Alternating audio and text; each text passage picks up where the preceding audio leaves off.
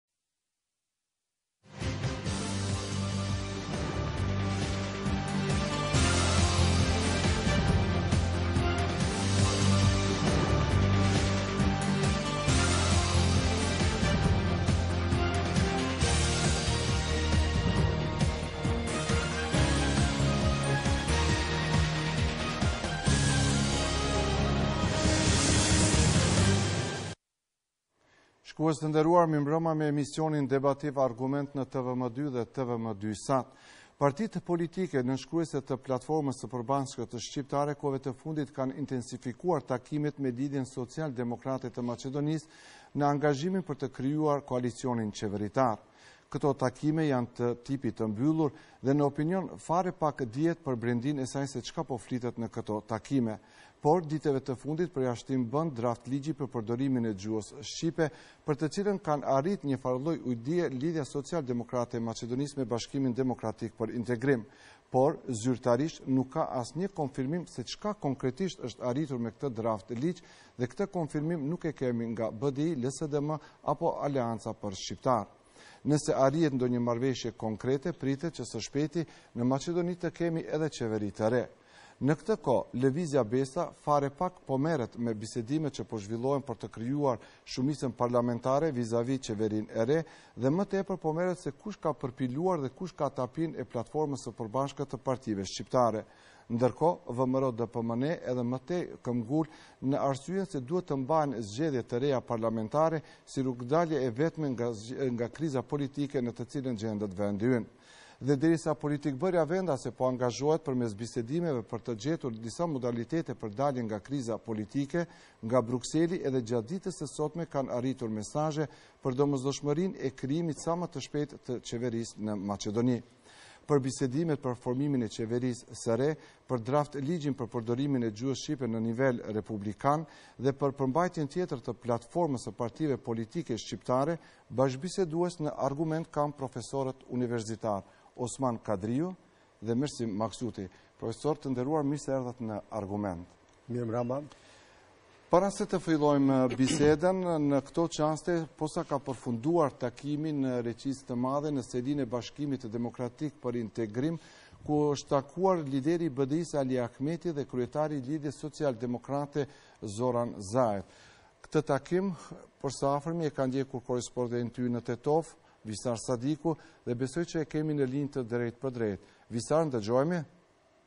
Po, Fatos, dëgjohemi. Visar, a ka mundësi në pika të shkurta të na shpjegon se cila ishte ku ishte theksi i kryetarit të LSDM Zoran Zaev pas takimit që realizoi sonte në orët e mbrëmjes në selinë e BDI-së?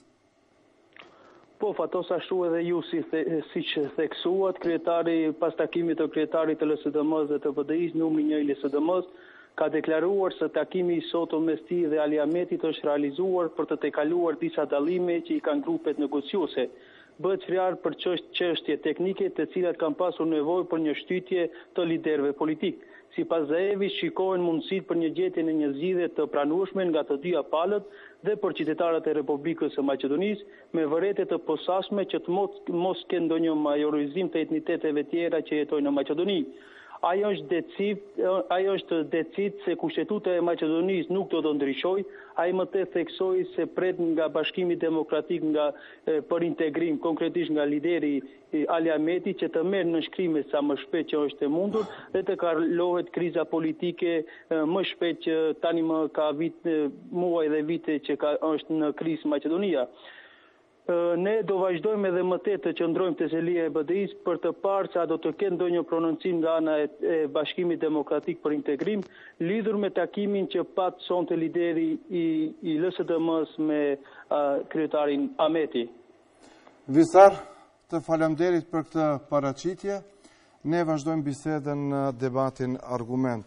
Profesor, siç ndëgjuam edhe nga korrespondenti ynë nga Tetova, nga takimi i mbrëmshëm prapë nuk ka asgjë konkrete, përveç se mund të të nënvizojmë atë se edhe lideri i LSDM-së është zotuar edhe njëherë se nuk do të ketë asgjë më tepër sesa që parashihet me nenin 5 të kushtetutës. Profesor, Pse gjithë kjo frikë në opinion se me zyrtarizimin e gjuhës shqipe do të ndryshon edhe karakteri unitar i vendit? Po shiqoni, të flasim tash për gjuhën shqipe dhe statusin e saj në shtet, është një çështje shumë, të them, komplekse, meqenëse këtu edhe për tash, dhe jo vetëm për tash, duhet së pari të përqendrohemi Për cilin status të gjuhës shqipe flasim edhe duhet të luftohet. Ju lutem, intenca, synimi, kërkesa e gjithë shqiptarëve, e cila tash reflektohet nëpërmjet përfaqësuesve të tyre, është që gjuha shqipe të garantohet të sigurohet si gjuhë zyrtare në nivel të shtetit dhe e dyta, gjuha shqipe të jetë e barabartë me gjuhën maqedonase. Në kuadër të këtij definicioni që theksova, përpjekja e partive politike tash shndërrohet që kjo normë kushtetuese të implementohet në projektet e ligjit për përdorimin e gjuhës shqipe në Maqedoni. Edhe ma tutje, për informimin e juaj dhe të opinionit, meqenëse kam qenë edhe unë i zhytur edhe i konsultuar si jurist për njërin prej drafteve, kemi dy drafte nga bloku shqiptar, edhe një draft, një projekt domethënë, një propozim ligji nga LSDM-ja. Harmonizimet duhet të bëhen, akoma nuk Nuk ka përfundu çështja e harmonizimit, por bjen në sy diçka. Definicioni që e theksova për gjuhën shqipe dhe statusin e saj në shtet, dhe përdorimin e saj si gjuhë zyrtare, përsëris në shtet dhe në nivel të shtetit.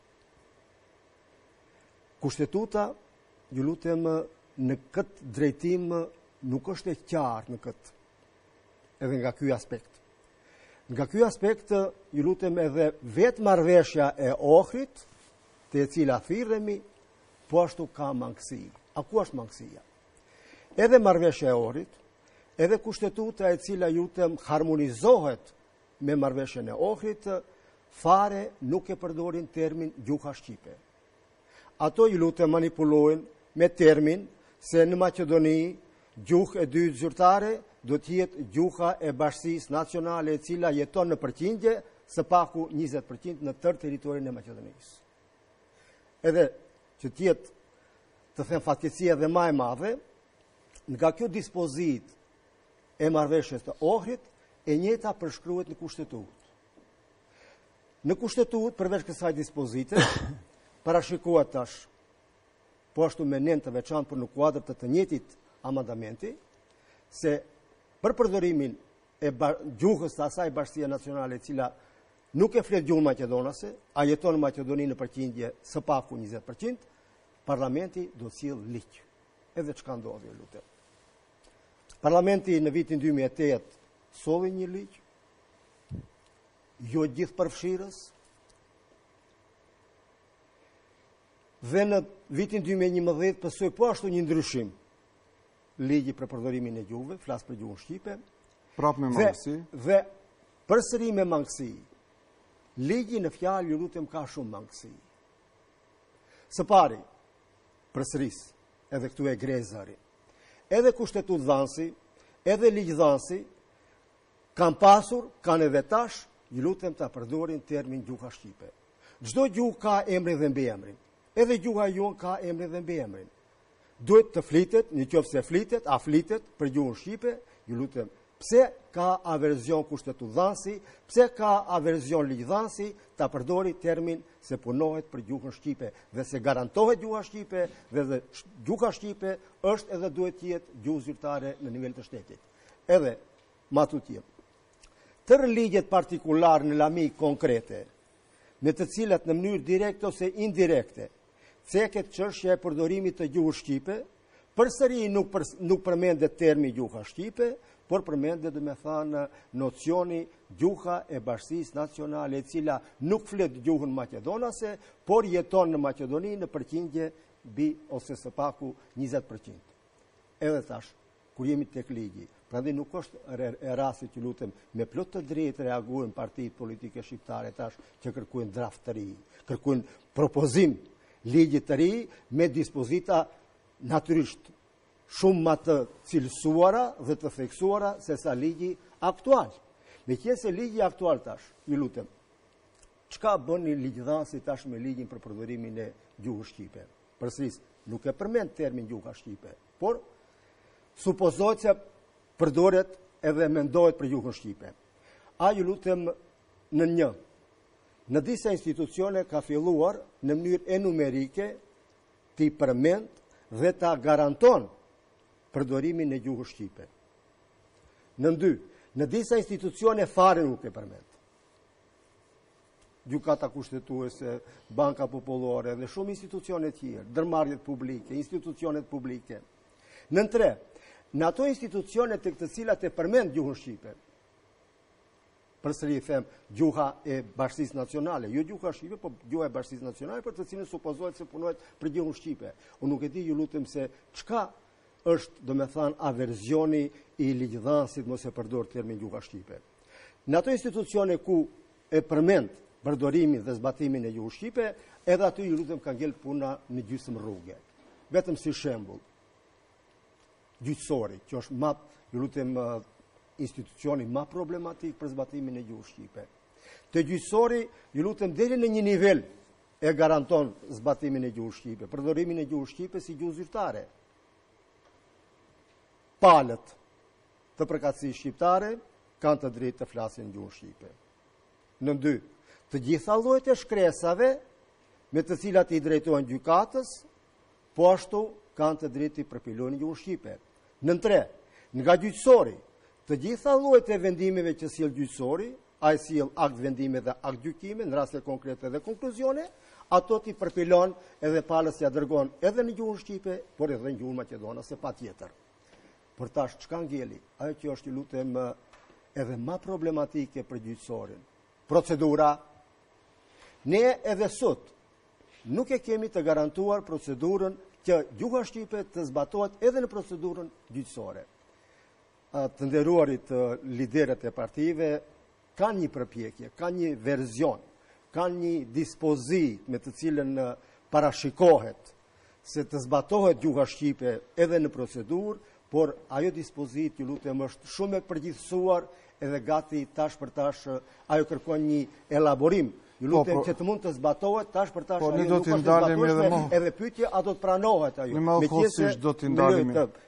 Ta rrumbullakosë ju lutem mendimin, meqë se sipas informatave që kam nga blloku i dytë, domethënë nga blloku maqedonas, ato kanë vërejtje serioze për dispozitën e cila dhe me të cilën kërkohet që edhe procedura gjyqësore, edhe procedura administrative që nënkupton procedurën para organeve administrativ shtetëror, të përdoret gjuha shqipe. Profesor, profesor Kadriu, sot Dehari dhe zyrtarisht na e konfirmoi se ekzistojnë tre draftligje për përdorimin e gjuhës shqipe në nivel republikan dhe ato dy nga blloku politik shqiptar dhe një nga LSDM. A jeni i mendimit se shumë ma lehtë, shumë ma lehtë do të bëheshte harmonizimi i draftligjit nëse kemi themi kushtimisht një draft propozim ligj nga blloku politik shqiptar? Shikni tash unë pas fjalës së profesorit i cili në shumë të mirë dhe objektive e ka elaboruar çështjen e përdorimit të gjuhës shqipe dhe statusin aktual që e gëzon sot me kushtetutë dhe me ligjet e këtij vendi edhe nuk mbetet më tjetër të plotësoj sepse profesori shumë mirë i plotësoi të gjitha mangësitë, zbrazëtirat të cilat i ka dhe dhe pozita që kërkohet të jetë reale që duhet sepse gjuha shqipe në Maqedoni patjetër duhet të ketë një status drejtpran të barabartë njësoj me gjuhën maqedonase dhe sot ose një ditë ajo patjetër do të vijë në shprehje. Por kjo një çështje, një sfidë është e së sotmes, por dhe patjetër edhe e së nesërmes. Derisa gjuha shqipe pra profesori edhe një herë do të barazohet krejtësisht me gjuhën maqedonase, Sepse ne jemi këtu komuniteti i dytë më i madh, etnikumi shumë i madh, thënë gati i afërt me popullin maqedon dhe patjetër edhe në çështjen e identitetit gjuhësor ne duhet të jemi ta gëzojmë këtë të drejtën, të, të shprehim identitetin tonë gjuhësor në mënyrë të barabartë, pra të plotë, njësoj si komuniteti maqedon, etnikumi maqedon. Prandaj është edhe koha pra aktuale një, një moment i mirë për për t'u shtruar kjo çështje, siç është shtruar dhe të zgjidhet, unë do të thosha një herë për gjithmonë, kjo kjo çështje. Cila po. është pyetja që bëhet Fatos se a është mirë me dy tre platforma aktuale. Kjo kjo po dua të them në mënyrë të veçantë se vështirëson arritjen e një kompromisi, një marrëveshjeje të një draftligji i cili do të rregullonte më mirë gjuhën përdor gjuhën shqipe dhe përdorimin e saj. Por këto janë çështje politike të cilat nuk varen prej nesh, prej meje dhe profesorit dhe mbetet të shofim, domethënë, pa mëdyshje se qëndrimi jonë është që subjektet politike shqiptare do të ishte mirë të kenë një qëndrim të unifikuar rreth gjitha çështjeve të platformës, por në mënyrë të veçantë rreth përdorimit të gjuhës shqipe, sepse gjuha shqipe pa mëdyshje se paraqet pikën më të nxehtë të kësaj platforme e cila kërkon patjetër një konsensus dhe një unitet më të madh, më të shprehur nga të gjithë subjektet politike. Do doja t'i shoh të gjithë subjektet të bashkuara rreth këtyre bisedimeve, në mënyrë të veçantë tash dua të potencoj se Këtu kemi një situatë ku dy subjekte politike po bisedojnë me, me, me pretendentin për mandatar nesër që pritet zoti Zaev, dhe kemi një subjekt politik i cili është Besa e cila po, po ka vendos të, të diktojë një politikë tjetër, e cila u shpreh fillimisht se unë do t'i jap nënshkrimet pa, pa hy në bisedime, pa kusht, mandatarit për të arrit të drejtën të formimit të qeverisë dhe pasi t'i fitojë nënshkrimet mandatari atëherë ne do të shkojmë në bisedime për formimin e qeverisë dhe kushtet të cilat i parasheh platforma. Gjë që nuk është gabim, edhe ajo variant nuk është gabim, sepse është një rregull profesor se pa e marrë, pa e marrë zoti Zaev mandatarin, mund të dështojnë krejt këto bisedime, mund të shkojnë kot, sepse nesër mund të dali zoti Zaev dhe të thotë, pritni thotë se unë Mund të arsyetohet nëse eventualisht nuk, nuk lishon, nuk është tolerant në kuptimin e formulimit të ligjit, më, më të avancuar. Sepse mund të thotë unë nuk kisha mundësinë, nuk isha i përcaktuar ende si mandatar dhe nuk isha i sigur që të mund të situata... Po, kjo, kjo mund të luajë një moment, po themon profesor, edhe në, edhe në, në zhvillimin e bisedimeve, Por janë çështje taktike të partive politike të cilat gjithmonë ruajnë rejtingun e vet të elektoratit dhe siç presin ato mund të dalin mirë ose keq. Po pa mëdyshje, qëndrimi jonë është se ato do të më mirë do të ishin të bashkuar, të unifikuar në bisedimet, në pregaditjen e një draftligjit të përbashkët, nga subjektet politike, në raport me palën maqedonase. Profesor, ne edhe zyrtarisht edhe si media nuk kemi pa draftligjin për përdorimin e gjuhës shqipe, por ajo që është është shpërndarë nëpër disa media, nëpër rrjetet sociale. A mund në përgjithësi të na thoni se a është nxjerrë ajo maksimalja që u zotuan gjatë këtyre bisedimeve për përdorimin e gjuhës shqipe në nivel në tërë territorin e Maqedonisë? Shiqoni sa i përket brendisë të të gjitha drafteve. Ato në parim, sidomos dy draftet e bllokut shqiptar, përpiqen që në mënyrë maksimale të përdoret edhe të garantohet statusi i gjuhës shqipe si gjuhë zyrtare në nivel të shtetit. Por, Vetëm ju lutem me një të them korrigjim, unë siç mendoj. Unë kur e dhashë definicionin, se në kushtetutë, në kushtetutën e tashme, nuk theksohet në mënyrë të thukët për gjuhën shqipe, duhet që të garantohet përdorimi i gjuhës shqipe si gjuhë zyrtare. që të garantohet se gjuha shqipe do të jetë e barabartë. A patjetër duhet të jetë e barabartë. Duhet të ndryshon kushtetuta. Në kuptimin se vetëm me kushtetutë të theksohet statusi, edhe definicioni duhet prafërsisht të jetë kështu. Gjuhët zyrtare në Republikën e Maqedonisë janë Gjuha maqedonase dhe shkrimi i saj dhe gjuha shqipe dhe shkrimi i saj. Pikë. Nën dy, po ashtu në dispozitë konkrete kushtetuese, ligjdhanësi obligohet për përdorimin e gjuhës shqipe të sjell ligj të veçantë. E tash, si duhet të kuptohet tash ligji i veçantë? Ja tash kemi një ligj të veçantë. Ju lutem, kur ligjdhanësi obligohet që të sjell ligj Ai nuk guxon me ligjin ta ndryshon dispozitën kushtetuese kur punohet për statusin e gjuhës shqipe në nivel të shtetit. Ligjdhanësi me ligjin dhe dispozitat ligjore, ai ju lutem bën implementimin e dispozitës kushtetuese në ligj edhe nën dy përpunimin e dispozitës kushtetuese. A tash ne çka kemi atë që përsëris, që thashë edhe përsëris. Ligji që miratohet nga ana e parlamentit për gjuhën shqipe, ju lutem, e korrigjon dispozitën kushtetuese. Prandaj, edhe ky ligj që të jetë gjithëpërfshirës, nuk garanton edhe nuk mund të përfshijë domethënë në të gjithë nivelet se gjuha shqipe do të jetë gjuhë zyrtare.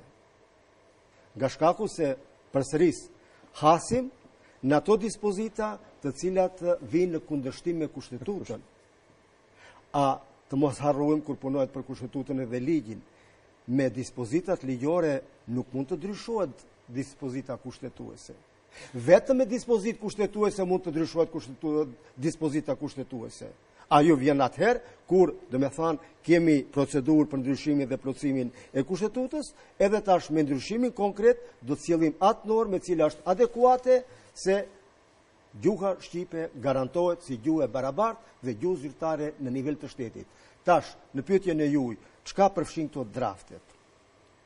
Këto ju lutem shkojnë së pari në atë që të theksohet me emër dhe mbiemër, gjuha shqipe, gjuhë zyrtare në nivel të shtetit.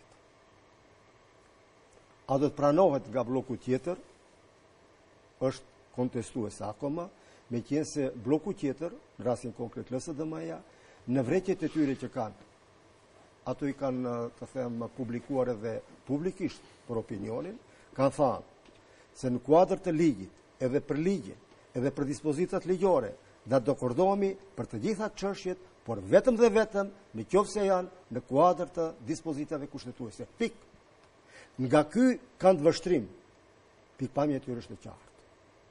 Edhe tash, për çka ka disponim vetëm për informimin e juaj dhe të opinionit. Ka avansim në parlament. Në të ardhmen, kryesusi i seancës plenare, theksoj kryesusi e saj mund të jetë kryetari, në qoftë se kryetari shqiptar, ose nënkryetari, a vjen në rolin e kryesusit të udhëheqë me seancën plenare, do të ketë të drejtë ta përdorë gjuhën shqipe. Deri tash kjo nuk ka qenë. Nën dy, Në kuadër të qeverisë, që nuk ka qenë deri tash, risi e rëndësishme, anëtarët e emëruar në qeveri, mendohet për ministrat, anëtarët tjerë të emëruar nga parlamenti ose nga qeveria, të cilat marrin pjesë në punën e qeverisë dhe në seanca konkrete, do të kenë të drejtë ta përdorin gjuhën shqipe. Ka bile edhe një propozim do të shofim sa do të pranohet nga blloku maqedonas, se edhe kryesuesi në qoftë se ndodh për ndonjë seancë të, parlam, të, të qeverisë, kryesuesi të jetë shqiptar, edhe ai të flet në gjuhën shqipe. Prej organeve të jurisprudencës, ka një risi për të cilën mendoj se do të pranohet nga të gjitha subjektet për noterinë. Noteria në Maqedoni është një organ i veçantë i jurisprudencës, ka kompetenca të rëndësishme, kompetenca të përcaktuara me ligj, parashikohet kjo risi.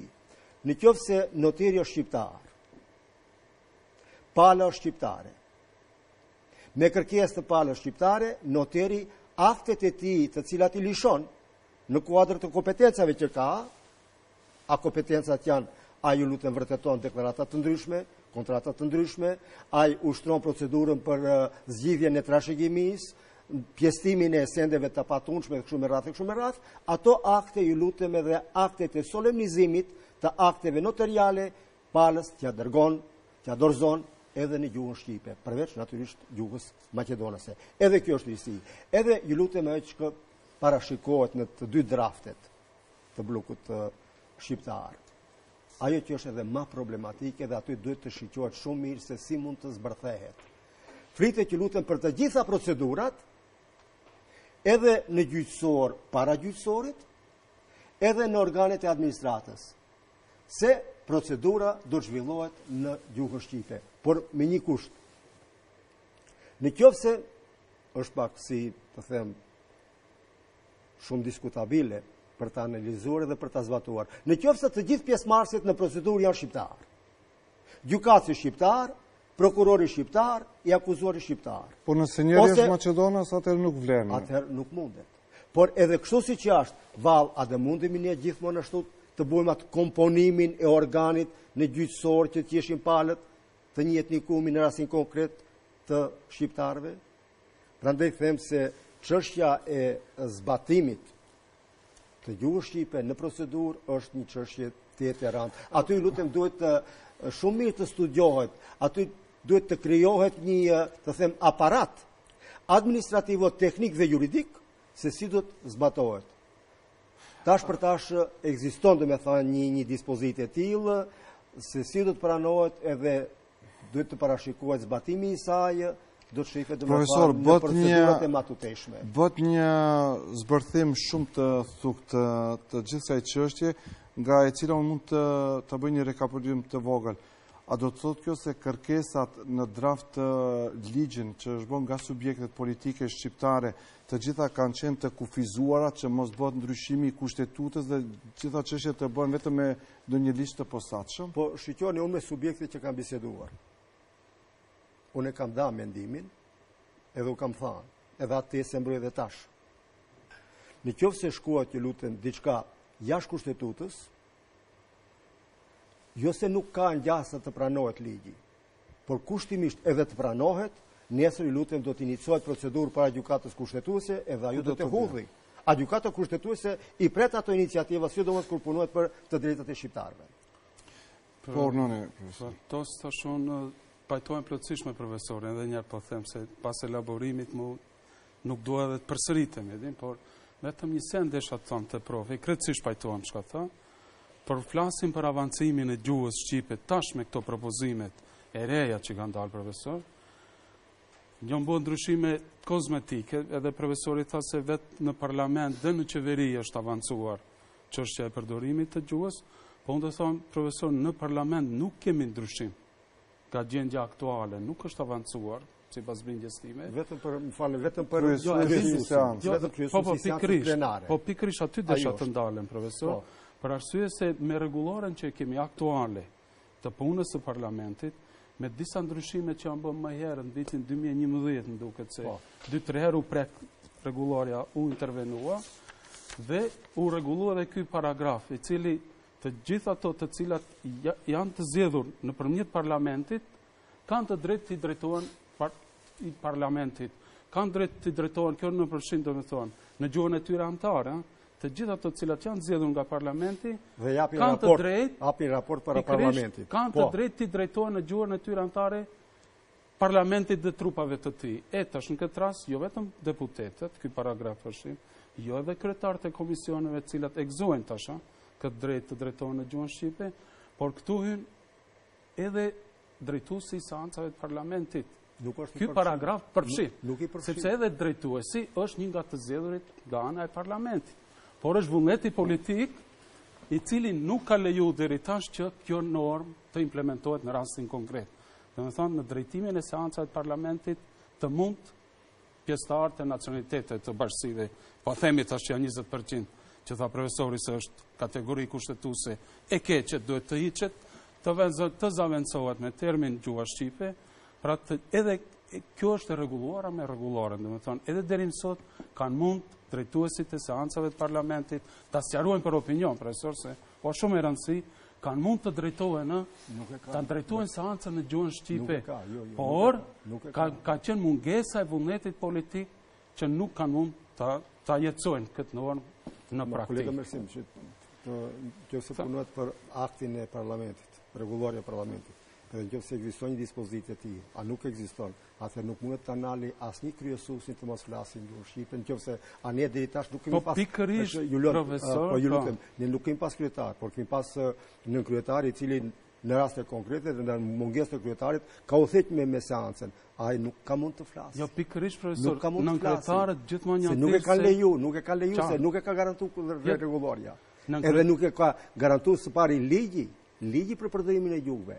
Ai ligji që, që, që u bënë këta ndryshimet, u dhanë të drejtë, ajo që thatë ju, plot të drejtë, të, të gjithë funksionarëve që i zgjedh parlamenti dhe në periudha konkrete kohore paraqiten para parlamentit me raporte, me informata, ato tash i drejtohen në gjuhën e tij.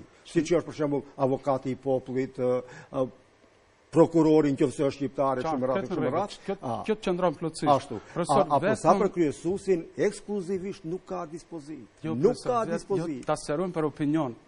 Pse pikërisht deri tash nuk kanë drejtu seancat nënkryetarët e parlamentit, të rras nga radhët e shqiptarëve? Pikërisht nga kjo arsye... Jo, kanë drejtuar, vetëm... Ma herët, ma herët... I kanë drejtuar në gjuhën maqedonase, në gjuhën maqedonase i kanë drejtuar. Pikërisht, pikërisht. Tash me rregullore u ndryshu në vitin 2011 më duket, domethënë, Me këtë ndryshim, Fatos, me këtë ndryshim, po e këtu është problemi, në praktikë nuk kanë guxu ta jetësojnë, nuk kanë guxu nënkryetari nga radhët e shqiptarëve të drejtojë seancën në gjuhën shqipe, sepse pala maqedone e ka blloku këtë rast. Dhe domethënë, këtu ka qenë mungesa e vullnetit politik, midis dy palëve, profesor, për ta jetësu. Kjo normë, e përfshin edhe të drejtën, siç e të drejtë kryetarëve të komisioneve drejtohen gjuhën shqipe, nëse janë ato shqiptarë, ose deputetëve, ose ministrave në parlament.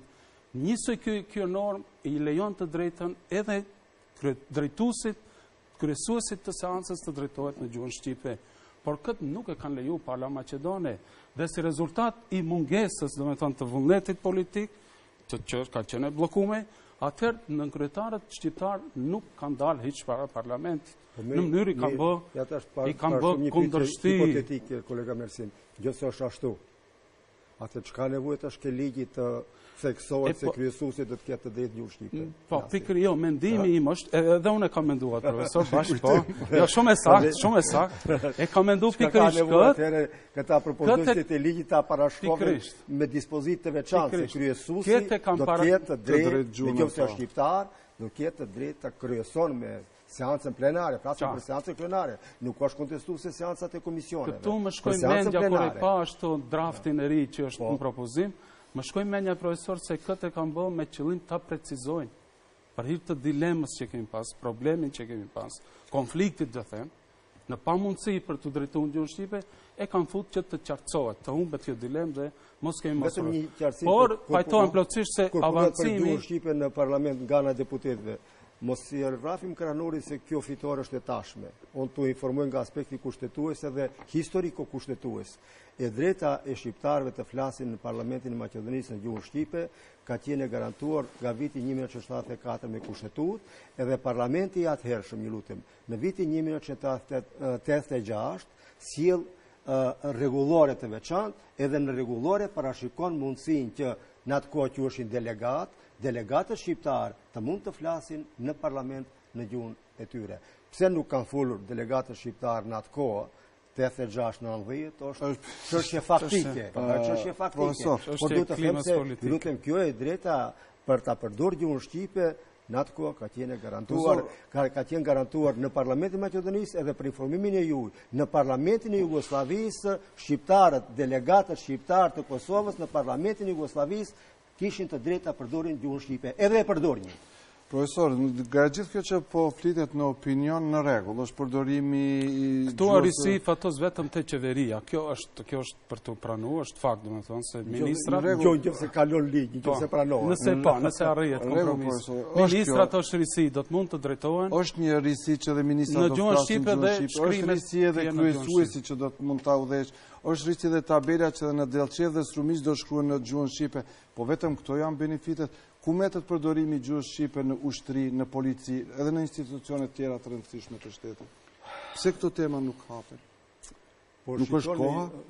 Jo, këtu tash në ushtri, meqenëse ushtria domethanë është në kuadrë të Ministrisë për mbrojtje, edhe në polici, policia është në kuadrë të Ministrisë, komunikimi këtu do të garantohet. Meqenëse flasim për gjuhën shqipe në nivel të shtetit, edhe aty garantohet domethanë komunikimi i palëve me ministritë që ministrit duhet të përgjigjen në gjuhën shqipe. Për ushtri vetëm ngel një çështje, komanda. Komandimi në ushtri domethanë nuk lejohet, mendoj blloku maqedonas nuk ka disponim assesi të mendoj se mundet urdhra komandimi në ushtri të bëhet edhe në gjuhën shqipe. Kjo ishte ju lutem risi do të kujtohemi edhe në ushtrinë e jugosllave. Edhe atëherë komandimi ishte vetëm në gjuhë, a ishte gjuha, gjuha serbo-kroate. A, ajo nuk, a përndryshe komunikimi garantohet, kur them garantohet, ju lutem, propozohet të garantohet, a do të pranohet edhe Kjo çështje dhe kjo risi është çështje faktike. Profesor, profesor Kadriu ceku pak më parë edhe përdorimin e gjuhës në gjyqësor, ndoshta këtu është edhe shumë më e rëndësishme dhe për qytetarin e thjeshtë të ketë mundësi ta përdorë gjuhën amtare në të gjitha proceset gjyqësore. A vlerësoni, a jeni optimist se mund të bëhet edhe një ndryshim i tillë që gjuha shqipe të jetë zyrtare së bashku me gjuhën maqedone edhe në gjyqësor? Kur them gjyqësor, flas në përgjithësi për gjyqësorin. Po si tha edhe profesori, domethonë, gjuha vetëm është avancuar në këto propozime që na dalin në media, se ne në fakt nuk kemi në dorë që kemi ndonjë propozim draft, se sakt, çka është paraqitur dhe çka është për diskutim dhe çka pritet nesër të pranohet, por nga gjitha ato që vijnë prej mediave, po shofim, se vetëm në qeveri kemi avancime.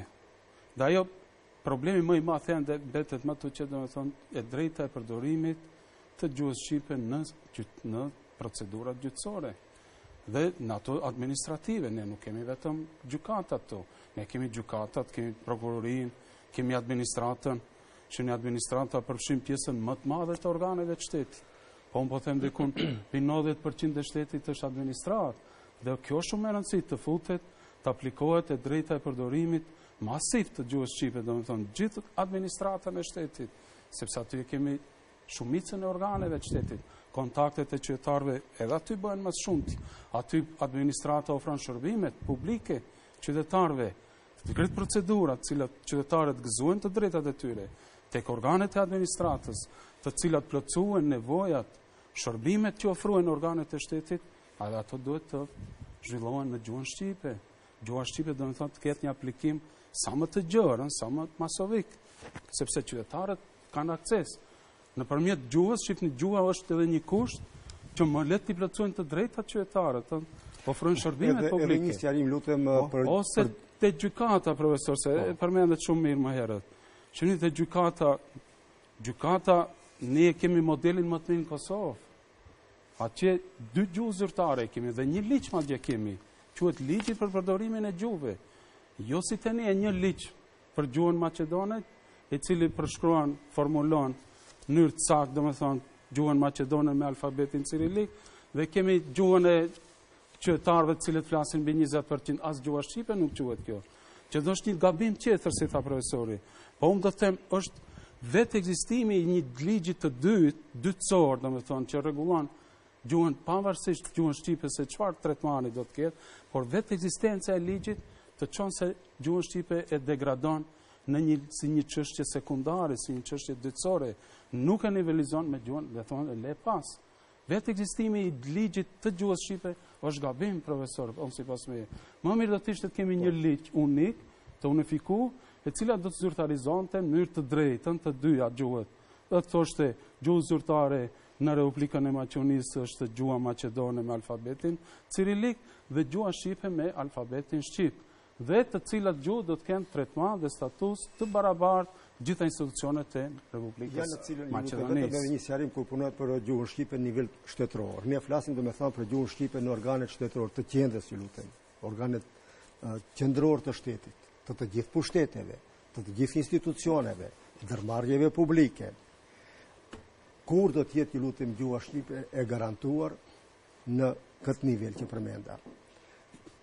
përsëris, duhet patjetër të çilet kushtetuta, të theksohet me, me normë kushtetute se se është e barabartë me gjuhën maqedonase.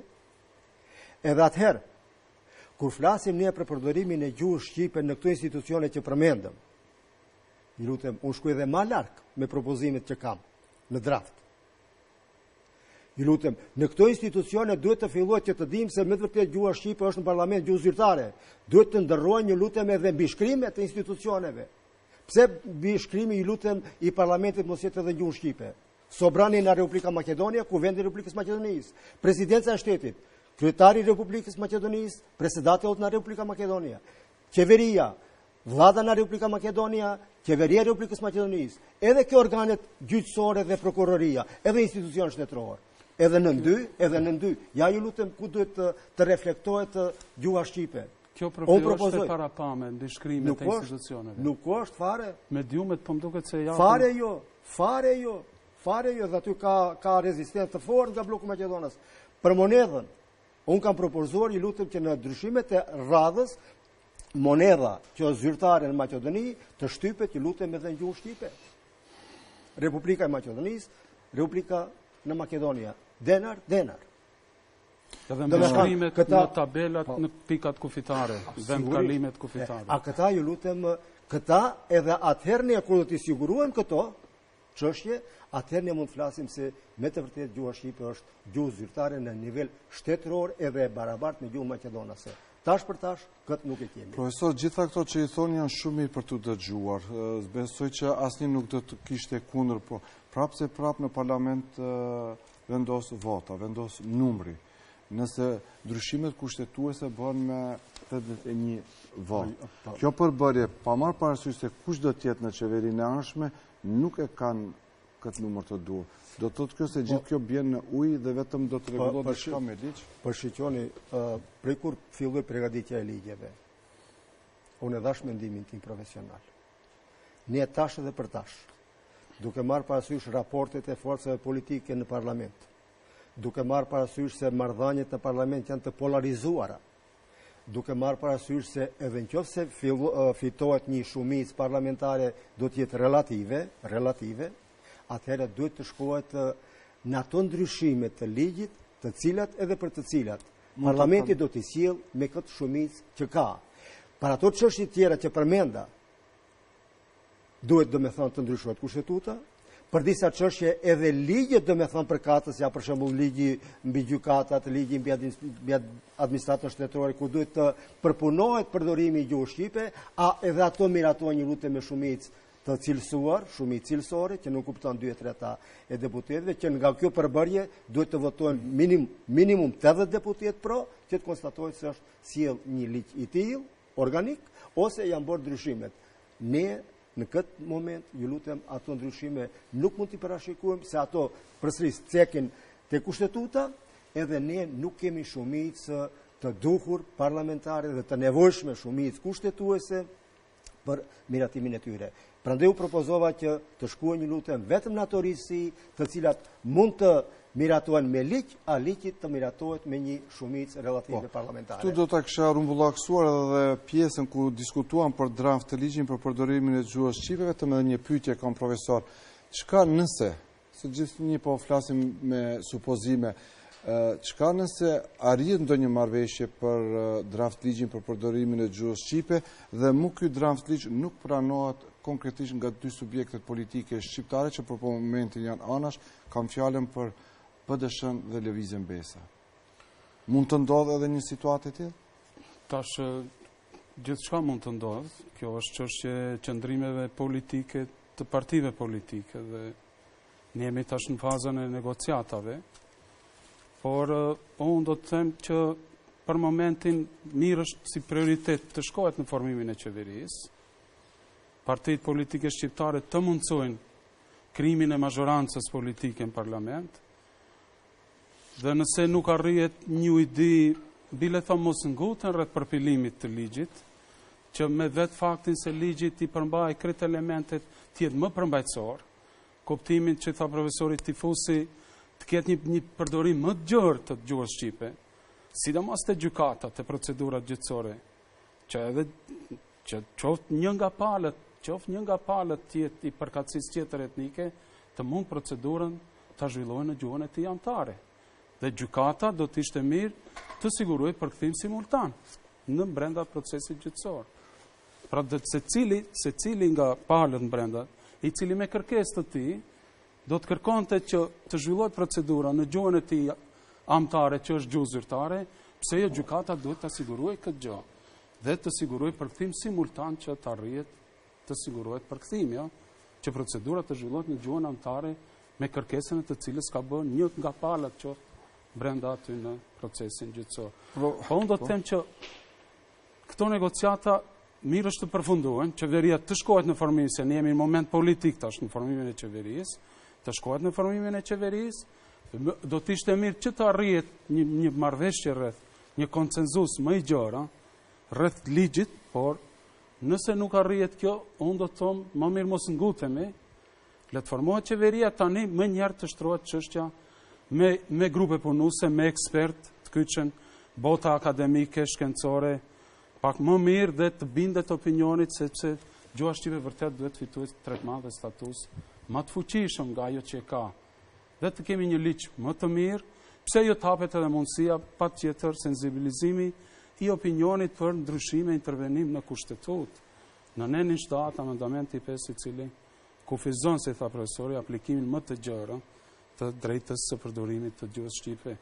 Pra këto janë çështje politike, juridike dhe politike, të cilat janë të ndërlidhura shumë me njëra-tjetrën. Prandaj do të shohim se çfarë versioni do të shkojë. Përdorimi i gjuhës shqipe dominoi, por në platformën e përbashkët të subjekteve politike shqiptare nuk është vetëm gjuha, por ka edhe kërkesa të tjera. U anashkaluan ato apo do të vijë koha që dhe ato do të diskutohen gjerë e gjatë. Po shiqoni, të flasim për platformën, aty ka shumë tema, është një çështje shumë, them, komplekse, për shumë arsye dhe nga shumë aspekte. Së pari, platforma, sipas mendimit tim, përfshin çështje të cilat ndoshta nuk e kanë edhe venin në platformë. Ka një prej tyre përmenet gjenocidi, Çka kërkohet me atë çështje, me atë pikë? Çka duhet të kryejë shteti? A të kërkon falje, ose ndonjë damshpërblim? Duke marrë parasysh, se punohet për periudhë ju lutem kur ky shtet maqedonasit as kanë pas identitet, as shtet, as republikë. Ne në qoftë se punohet për damet e shtetit, ne duhet damet tash t'i kërkojmë shtetit që u ka bërë shqiptarëve, por edhe qytetarëve të tjerë. Edhe damet që kanë qenë në periudhën socialiste, a ky shtet është trashëgimtari i atij sistemi.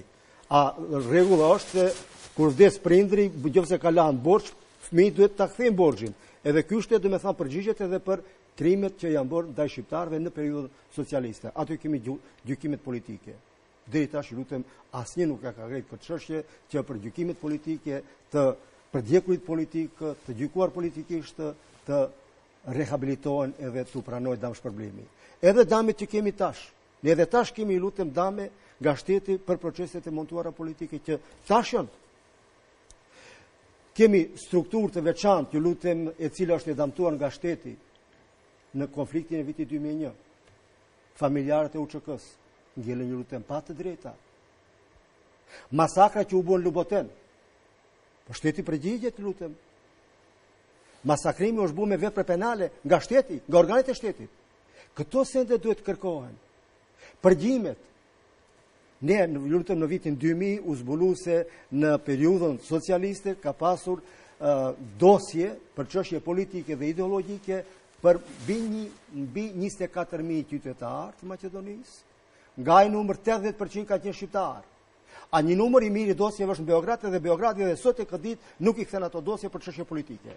Ku është ju lutem përgjegjësia e shtetit për ato qytetarë. Ja këto kërkesa për struktura konkrete që janë domethanë të në një mënyrë të damtuara. Këto duhet të përqendrohemi. Çështja e dytë, flasim për platformën, flitet ju lutem për debatim, për çështjen e flamurit, himnit, stemës. Unë tash nuk mund ta kuptoj ç'është debatim, a është kusht, a është kërkesë, çka është? Domethanë abstrakte. Për çështje të tjera janë ju lutem në kuadër të marrëveshjes kornizë. Por përsëris, për çështje të tjera, që është shumë me rëndësi, disa prej tyre mund të zbërthehen vetëm me intervenimin në kushtetutë. Një prej tyre ju lutem populli shqiptar shtetformues. Por ne këtë të drejtë e kemi pasur, ju lutem. Me, me kushtetutën e vitit 1974, kjo e drejtë ekzistonte për shqiptarët. Por çka ndodhi? Në të them ato në, ndodhitë e fundit që ndodhën në ish sistemin socialist kundër shqiptarëve, u miratua një amandament, amandamenti 56 famëkeq, në vitin 1989, me të cilin amandament ju lutem kjo kjo dispozitë e kushtetutës u abrogua. Prandaj kjo duhet të rregullohet edhe ka baza juridike dhe kushtetuese se ne kemi qenë shtetformues dhe jemi shtetformues. Por këtu duhet përsëri të intervenohet në kushtetutë. Edhe çështjet tjera rregullohen me ligj për të prej të cilave disa me ligj, domethënë për të cilën kërkohet ja si ta shumica relative, a për disa prej ligjeve, ju lutem përsëri do të kërkohet shumica cilësore ose 2 të tretat. Prandaj kur flasim domethënë për platformën këtu ka shumë çështje të cilat duhet në të ardhmen të implementohen, të inkorporohen ju lutem në programin e qeverisë, në programin e parlamentit, në programin e ministrive, dhe ato të realizohen. Profesor, kur jemi tek platforma, nga lidershipi shqiptar është thënë se për platformën nuk negociohet, por ajo duhet të pranohet, apo mos të pranohet. A mund të bëhet ndonjë kompromis, ndonjë lëshim, a mund të ketë përjashtime? Shikoni, thashë unë, kur pytët ma herët për partitë politike, pse nuk kyçen krejt në këto negociata, dhe kjo pak edhe mu po po më vjen pak si shumë, jo, jo e mirëseardhur. Pse, pak indiferencën e, e partisë Besa. Shihni, do të themun se, të jemi të sinqertë, kjo që u shtrua çështjet, ligji sidomos, dhe çështjet tjera, për të drejtat e shqiptarëve në tavolinë, erdhën si rezultati i partive të reja politike, Besës, Aleancës dhe dhe frymës së re opozitare, por jo vetëm të këtyre, por edhe shqiptarëve që votuan për partinë maqedonase LSDM. Domethënë, votu, votuesit shqiptar na sollën në këtë gjendje që shtrohen të drejtat e shqiptarëve në tavolinë, që do të çmohet në kuptimin shumë pozitiv.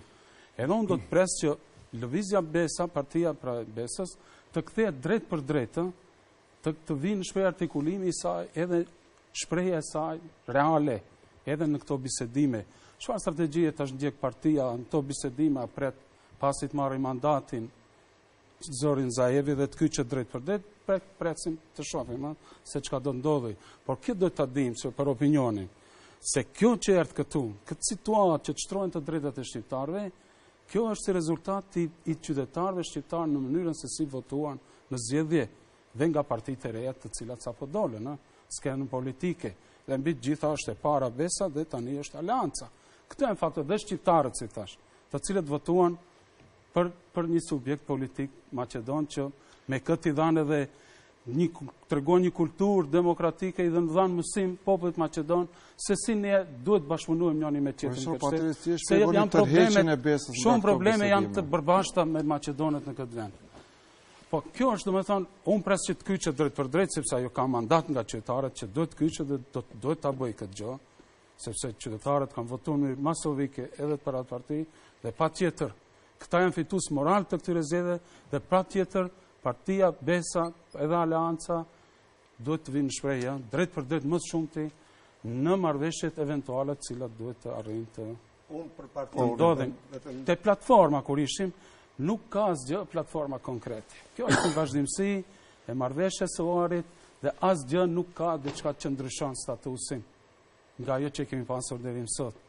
Prandaj nuk shoh asnjë vështirësi dhe nuk e di pse ka shumë pluhur shoh te pala maqedone, jo me kontra platforma, jo nuk pranojmë dygjuhësi, jo rrezikohet shteti federal, që kjo federalizmi vjen drejtpërdrejt pyetje.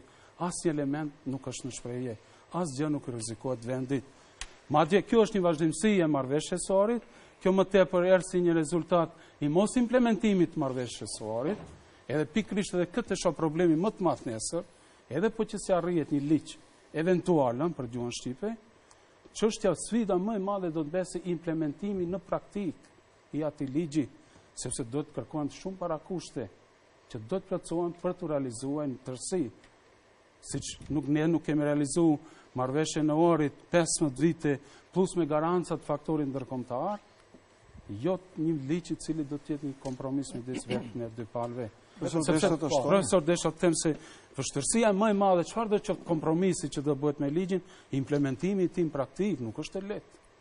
Duhet resurse të mëdha njerëzore, Duhet përkthyes të shumtë, po, kapital përkthyes të shumtë, të marë, duhet financa të mëdha shteti të sigurojë pikërisht për të realizu gjuhën shqipe.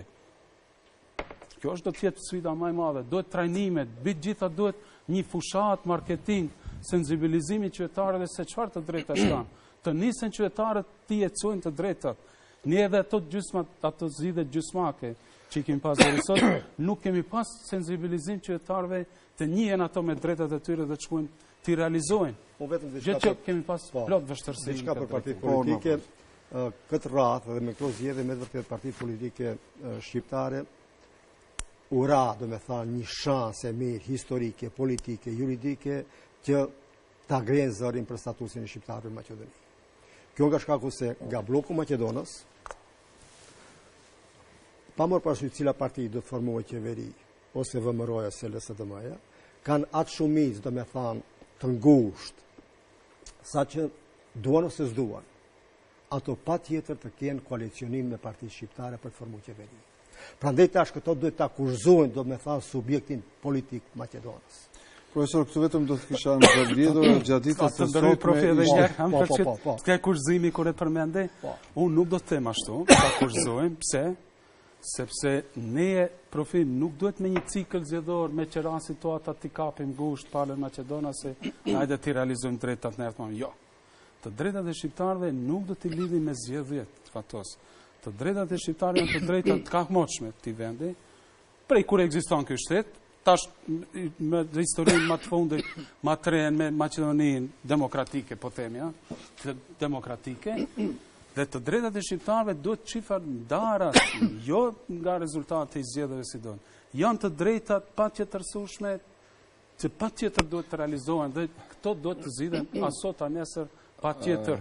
Sikur subjekti politik maqedon VMRO-ja se kërcënon, që për se i ka një pesëdhjetë e tre deputet, nuk mund të kushtëzojë po, po, si, po. nuk qëndron fare, ju mund të merrni VMRO 100 deputet, por të drejtat e shqiptarëve mbesin aty të parealizueshme, që patjetër duhet të realizohen. Profesor, kur jemi... Pra një çështje krejtësisht tjetër, ne këtu është drejtpërdrejt çështje e ekzistimit të shtetit, nëse ne duam të bashkëjetojmë në këtë shtet, atëherë do jetojmë si dy komunitete, si dy etnikume, krejtësisht barabarta, me një status të barabartë politik, juridik, gjitha kuptimet e veta, formimin e institucioneve dhe gjitha çështjet e tjera. Jemi te momenti historik që përmendi edhe profesor, po, Kadriu, po. profesori universitar Ljubomir Cucullovski shkon edhe një hap para, shkon edhe aq larg sa që thotë mandatar i vërtetë, mandatar de jure në këtë periudhë të bisedimeve është BDI-ja dhe programi saj është një program i ardhshëm qeveritar.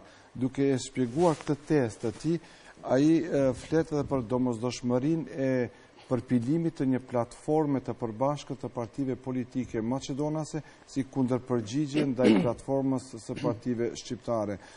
Profesor, vlerësoni se ekzistimi i dy platformave përballë njëra-tjetrës, do ta nxjerrë Maqedoninë nga kjo krizë e thellë politike, apo do ta thellojë edhe më tej atë? Në qoftë se mendohet për blokun maqedonas që të përpilojë një platformë me retorikë nacionaliste, ajo nuk do t'i ndihmon Maqedonisë që të del Maqedonia nga kriza. Kriza do të thellohet. me vetë faktin se vetë partia VMRO-DPMNE në protestat që organizonte krijoi, ju lutem, një bindje te shqiptarët, se është parti nacionaliste, e ngarkuar kundër interesave dhe kërkesave shqiptare. Edhe prej atëherë, Edhe pse një bindje e tillë për atë ka pasur edhe ma përpara, ju lutem te populli shqiptar u krijua bindje se asnjë parti nuk duhet të jetë në koalicion me me VMRO. Prandaj në pyetjen e juj në qoftë se mendohet të krijohet ndonjë të përpilohet, të hartohet ndonjë platformë nga bloku maqedonas me një brendi nacionaliste, fashiste, ajo mendoj se do të thellon krizën politike, e cila krizë natyrisht edhe tash është shumë e randë, dhe nga e cila krizë Maqedonia randë do të ketë që të del në qoftë se nuk themelohet një qeveri politike, edhe ajo qeveri në qoftë se nuk fillon ju lutem me reforma rrënjësore, radikale. Vetëm ashtu mundet Maqedonia të del nga kriza. Maqedonia ka krizë ju lutem politike, por në të cilën krizë, unë gjithmonë theksoj, janë të përfshirë shumë kriza tjera. Ka krizë ekonomike, ka krizë juridike, ka krizë morale. Ju lutem, flasim për krizën juridike. Jo rastësisht raportet e Evropës, të Komisionit Evropian, të zotit Pribe, thirren në atë se në Maqedoni prioritetet që duhet të sigurohen tash me qeverinë e re, me parlamentin e ri, në vend të parë duhet të sigurohen Maqedonia të merr frymë juridikisht që nënkupton të funksionon shteti juridik edhe nën dy të sundon drejtësia. Profesor, kur jemi te drejtësia, nuk mund të anashkalojmë edhe punën funksionimin e prokurorisë speciale. A vlerësoni se prokurorisë speciale i duhet vetëm një mbështetje gojore, vetëm apo i duhet ndonjë ndihmë më konkrete? Kur e them këtë, s'di, ndoshta profesori, do të ishte më i thirrur, sot ushtruesja e detyrës kryetare e gjykatës themelore në Shkup, Tatjana Mihajlova ka bërë një kaos me një orar të ri të gjykatësve, ku është bërë ndryshimi i gjykatësve të cilët kanë qenë të obliguar me lëndët të cilat i ndjek prokuroria speciale. Është edhe kjo edhe një lojë, një vazhdim i dorës së pushtetit në pengimin e punës së Prokurorisë Speciale? Po shikoni tash është çështje faktike, me të vërtetë edhe sot ndëgjum nga mediumet se janë ba ndryshime kadrovike në kuptimin se ushtruesja e detyrës kryetare i gjykatës, Shkupi një në Shkup, ka bërë transferimin e shumë gjyqtarëve. Edhe ajo çka bie në sy ju lutem. Të atyre gjyqtarëve të cilët në kompetencë kanë pasur landë të formuara nga aktakuzat e prokurorisë speciale. Ka një rregull në drejtësi ku thuhet se çdo sen mund të bëhet në çdo kohë, por jo në jo kohë. Tash ju lutem në kohën kur gjyqtarët konkret të lamisë penale kanë landë konkrete të cilat janë të përpiluara, të formuara nga aktakuzat ose propozimet e prokurorisë speciale edhe të ndërrohen gjyqtarët nuk ka ju lutem logjikë nuk është edhe e drejtë por sido që të jetë meqenëse punohet për çështje faktike, unë së pari filloj prej asaj meqenëse kam punuar edhe gjykatës, a kam qenë edhe anëtar i Këshillit Gjyqësor të Maqedonisë në përbërjen e parë. Së pari mendoj se këto zavendësja e kryetares i ka shkel kompetencat. A ju lutem fare nuk ka kompetencë si ushtruse të bëjë këto ndryshime radikale kadrovike në kuadër të gjyqësorit penal. Edhe nën dy, mendoj se për këtë çështje ma së paku është dashur nga ajo të njoftohet Këshilli Gjyqësor i Maqedonisë. Nuk mund Këshilli Gjyqësor i Maqedonisë të jetë ju lutem indiferent ndaj këtyre proceseve që ndodhin në gjyqësorin penal. Duke marrë parasysh, të kujtohemi, se sa ju lutem ka vrejtje jo vetëm nga institucionet e mbrendshme, por edhe nga jashtë. Gati edhe nga jashtë, nga strukturat relevante evropiane, emrohen ju lutem gjykatësit me emër dhe mbiemër ato që në mënyrë flagrante e shkelin ligjin edhe, edhe nuk e zbatojnë të drejtën duke marrë parasysh edhe, edhe obstruksionet që kanë të bëjnë me landët të cilat janë të përpiluara nga prokuroria speciale. Prandaj çështja o shumë uh, indikative, shumë problematike, Edhe mendoj se me këtë vendim që ka sjellë kryetarja, ushtrusja domethanë, e gjykatës nuk do të ngeli me këtë vendim. Këto me siguri do të ketë pasoja edhe politike, por ndoshta edhe përgjegjësi tjera. Profesor, duke patur parasysh edhe mbështetjen e plotë që ka nga faktori ndërkombëtar prokuroria speciale në përgjithsi, A jeni optimist se ajo do t'ia dalë deri në krye për të lëndët, për t'i çuar deri në fund? Shihni tash Maqedonia meqë është në krizë politike, institucionale dhe këto zgjedhje në radhë të parë erdhën si rezultat i kësaj krizës, cilën ne ishim këto dy vitet e fundit dhe vazhdojmë të mbesim, pa mëdyshje se prokuroria speciale mbetet ende më tej sfida më e madhe. Fund fundit çështjet kanë prioritet, Shihni ne i dimë të gjitha cila është prioriteti. Prioriteti është konsolidimi i ligjit, vendosja e ligjit, e drejtësisë, stabilizimi politik, demokratik i institucioneve, parlamenti, qeveria, gjykatat, prokuroria, dhe pa mëdyshje drejtpërdrejt në krizën politike, në stabilizimin e saj, ka pas ndikim dhe vazhdon të ketë prokuroria speciale. Ma unë madje do të thosha se një rrethanë lehtësuese mund të ketë prokuroria speciale, tash po presim formohet qeveria e re, pushteti i ri, janë politik, Maqedoni, një mazhorancë krejtësisht e re politike, dhe kjo pa mëdyshje do të ndikojë drejtpërdrejt edhe në në funksionimin e shtetit, stabilitetit politik të këtij vendi.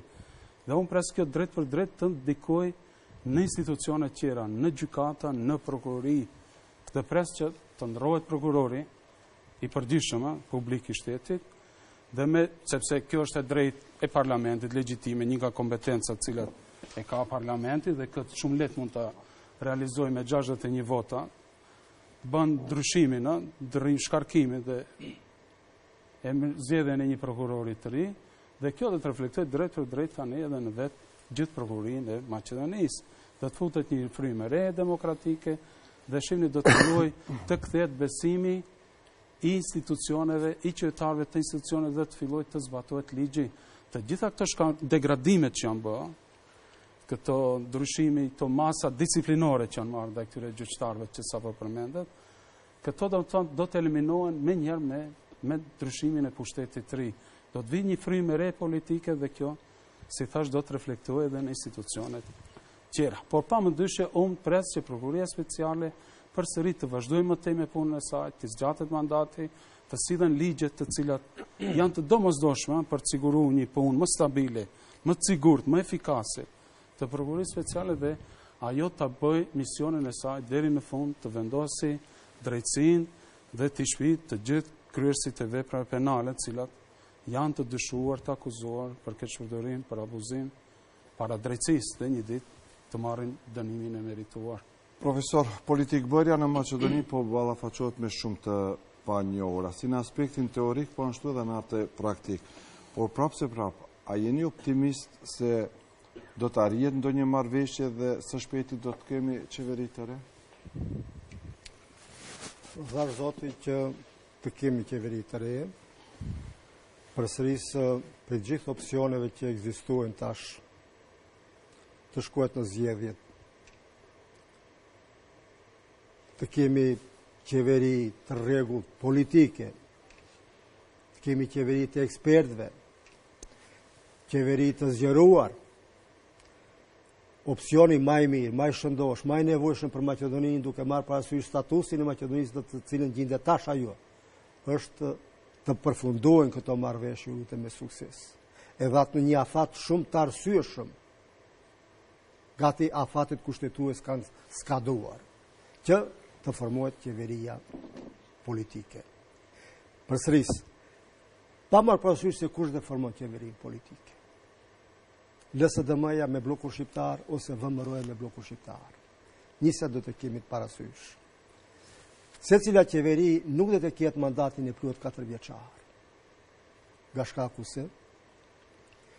Fitohet, në qoftë se fitohet, vetëm një shumicë, ju lutem, relative parlamentare. Çdo parti që do të ngelë në opozitë, do të jetë shumë e fortë. Qoftë të ngelë në opozitë VMRO-ja, ose të ngelë në opozitë LSDM-ja. Nën dy, ky parlament, me një opozitë të fortë, do të ketë obstruksione, Edhe shumë randë do ta ketë ta përballon edhe ta ushtron kompetencën e tij. Edhe nën tre, mos harrojmë edhe një send, Parlamenti i Maqedonisë në kuadër të kompetencave të tij ka mbi 15 çështje për të cilat ai sjell vendime akte juridike dhe për ato kërkohet një shumicë cilësore që nënkupton 2 të tretat e deputetëve. Këtë shumicë, ky parlament nuk do ta ketë. Duke marrë parasysh këto çështje që nuk mund t'i zbërthen, a te këto çështje ju lutem është edhe çështja e kushtetutës, ndryshimet dhe plotësimet, bile bile unë mbahem me tezën që aq shumë janë grumbullua çështje që duhet të rregullohen me kushtetutë, saqë Maqedonisë i nevojitet një kushtetutë e re. Prandaj, Kompetenca e parlamentit me këtë përbërje, ju lutem, do të jetë kompetencë e kufizuar.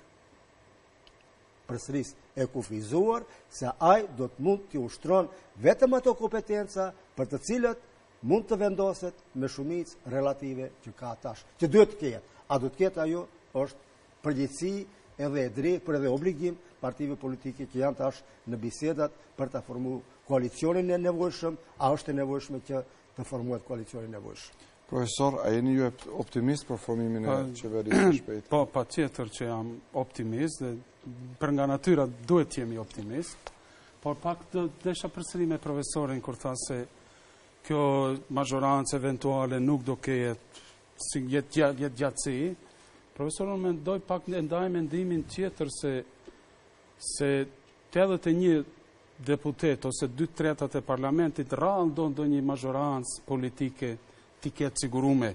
Qeveria e ka si rregull të ketë 61 dhe me atë 61 deputet mund të funksionojë në mënyrë krejt normale. Madje në rastin konkret që pres LSDM-në me të katër partitë shqiptare, unë do të them, të katër partitë shqiptare, të hyjnë në qeverisje. Nëse pranojnë, nëse pranojnë të jenë në qeveri. Sidomos profesor do të preferoja pra opozita, Besa, Aleanca patjetër të jenë në qeverisje. Fundi i fundit ky ndryshim, ky rotacion i pushtetit është si rezultat i tyre, mbi të gjitha, dhe atyre votuesve shqiptarë si thamë më herët, që u përcaktuan për LSDM-në ndihmuan, që të balansohet baraspesha me partinë maqedonase, dhe kjo është fakt i cili duhet të respektohet dhe të, të, të potencohet, dhe me 69 deputet krejtësisht do të sigurohet një stabilitet i kësaj qeverisje. Me 2 tretat rrallë do të ndonjë pushtet të sigurojë. Qeveria funksionon me 61. Në qoftë se vijnë ligjet të ndryshohet kushtetuta, gjithmonë kërkohet kompromisi Më me bazë më të gjerë, nga opozita. Gjithmonë ndryshimi i kushtetutës në çdo vend, jo vetëm te ne, edhe në praktikën parlamentare, pa kërku një konsenzus me opozitën, asnjëherë nuk mund të ndryshohen ligjet organike, ligjet sistemore që janë, ligjet e gjykatave, prokurorisë, ligjet më të rëndësishme, patjetër duhet të kyçet edhe opozita, të gjithë një, ja siç që kemi vetingun në Shqipëri. U detyru patjetër opozita të votojë ligjin mbi vetingun që të kalojnë reformat të cilat tashmë pritet të, do, duhet të jetësohen në Shqipëri. Edhe këtu te ne, qeveria është me 61, për ndryshime të tjera në kushtetutë dhe në ligje të rëndësishme, organike për atë shtetit, patjetër që duhet një presion politik dhe një kompromis më i gjerë dhe arrihen gjithmonë në çdo shtet, edhe këtu, prandaj nuk them se po, mund paraqesë problem. Kërëka Mersi, vetëm një duhet të keni parasysh kur flitet për përbërjen e tashme, në krahasim me përbërjen e deritashme. Tetë përbërje kemi pasur, tash është e nënta me radhë. Këtë raport të polarizuar nuk ka qenë nuk ka qenë deri tash. Nuk ka qenë.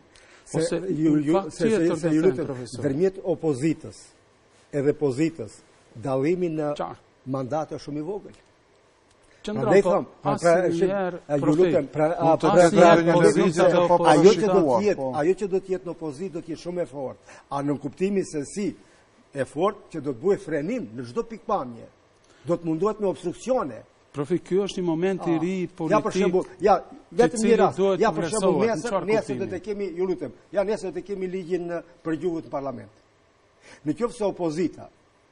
Nuk ka disponim, a me siguri se nuk do të ketë, mundemi të presim se sa amandamente do parashtrojnë për atë ligj dhe kundër atë ligji, ja një, vetëm një shembull.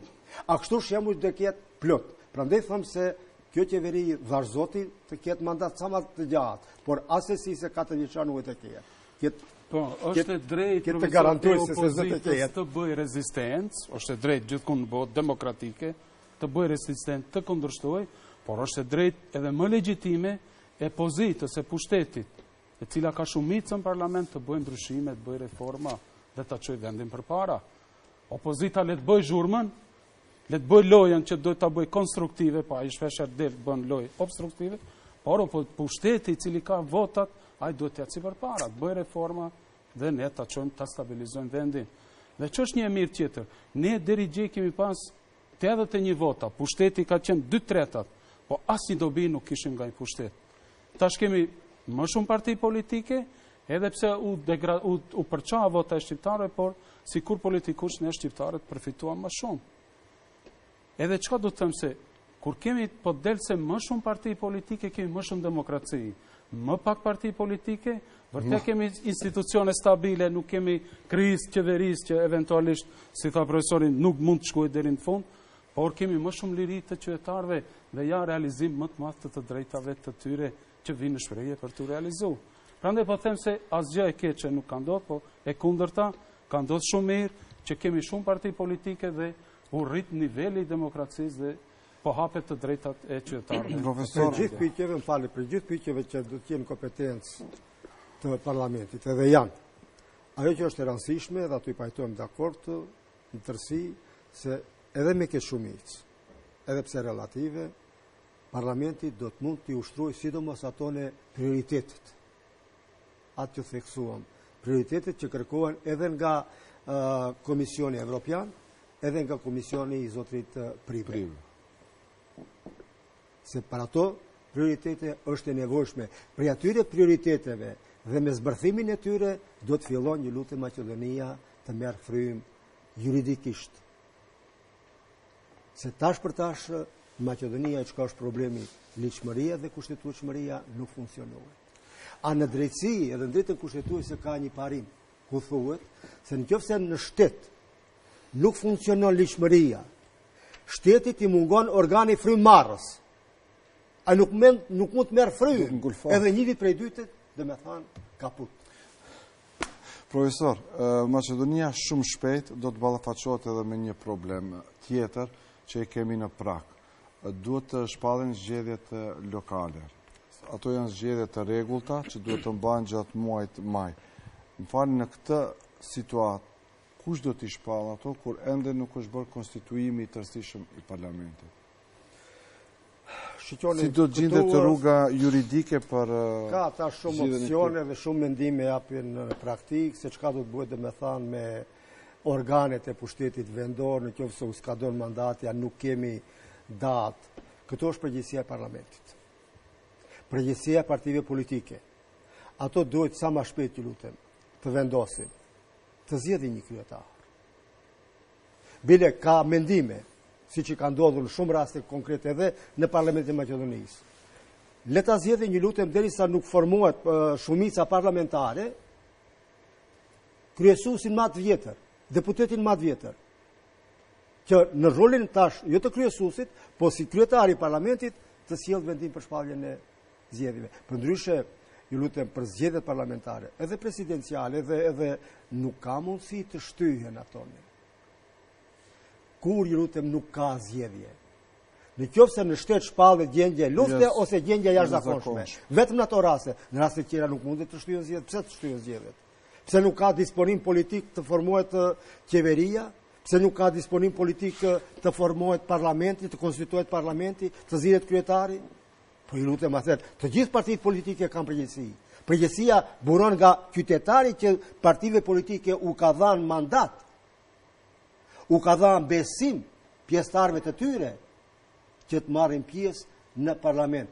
Që nënkupton, ata duhet ta ushtrojnë detyrën në parlament si deputetë.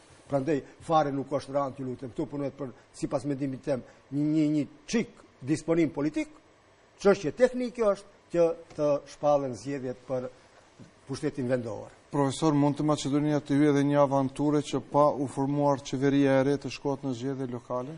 Po unë nuk besoj se është moment i tillë, pajtohem përsëri me profesorin se në fakt ne nuk kemi krizë politike, ne vetë e krijojmë, pa qenë ajo. Parlamenti është legjitim, parlamenti është me mandate të verifikuara. Në çdo moment mund të mblidhet Edhe pse ende nuk ka përfundu mbledhja konstitutive, por është në proces, domethënë, por mandatet e deputetëve janë të verifikuara dhe parlamenti është tash në përbërje të plotë dhe legjitim. Ai mund të marrë çdo vendim në kompetencë të saj.